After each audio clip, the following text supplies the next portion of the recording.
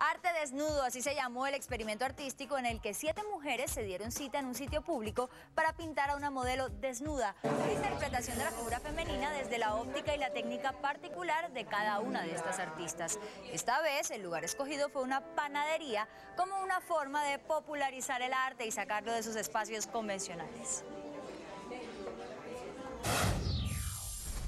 Traer un mensaje de alegría, de felicidad, de diversión, de, de, algo bello que se puede vivir en cualquier día, un lunes, en una panadería